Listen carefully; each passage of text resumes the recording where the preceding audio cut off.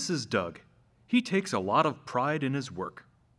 Today, Doug is going to learn about a new technology that will make his job easier microfiber. Hey, this isn't my equipment. What is all this stuff? It's Rubbermaid HYGEN Microfiber, Doug. Uh, who's that? It's me, the narrator. And, uh, where are you? I'm nowhere.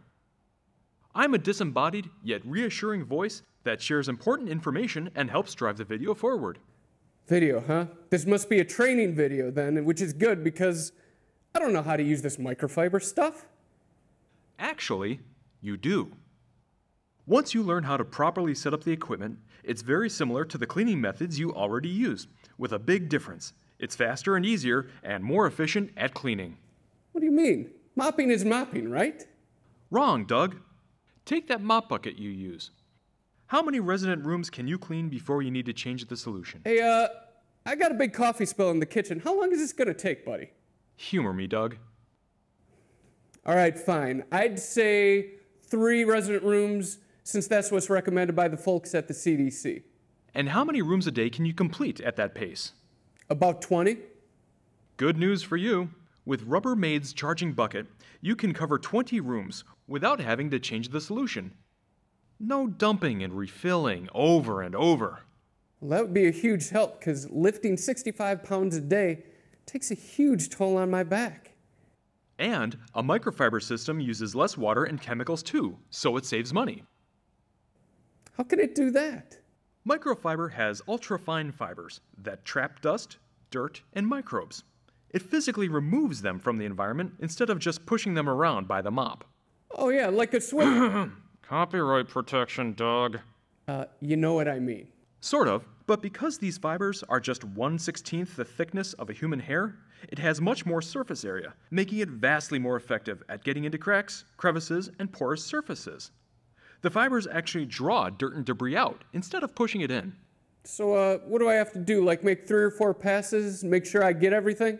Not at all. Since microfiber picks up the dirt the first time, it helps you clean faster too, up to 45% faster. That means less time is spent disturbing residents in their rooms. In other words, microfiber is simply a better way to clean.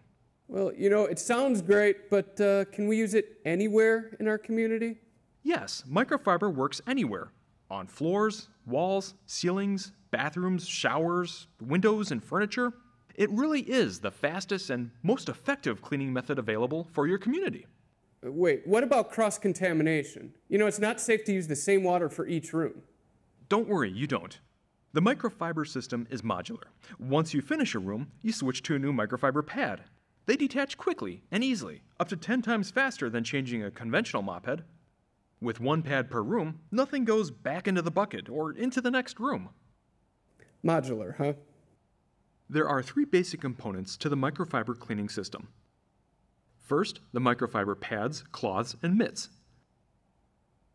Second, the handles, frames, and dusters. And third, the microfiber buckets. Hey, uh, I'd like to see this microfiber in action. Then let's see how microfiber handles that coffee spill. All right, let's do it. So, what did Doug learn today? I'm right here. I can tell everyone, can I?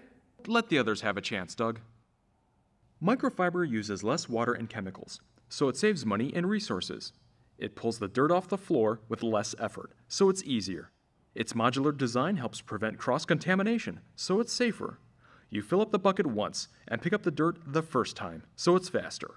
All in all, it's a better way to clean than traditional mopping. Hey, narrator, all those words are backwards.